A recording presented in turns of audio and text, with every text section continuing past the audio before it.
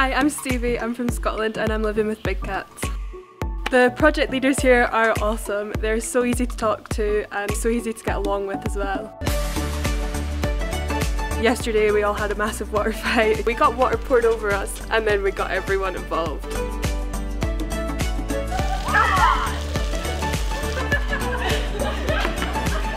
I love it here. It's my second time and I'm sure I'll be back plenty more times after this.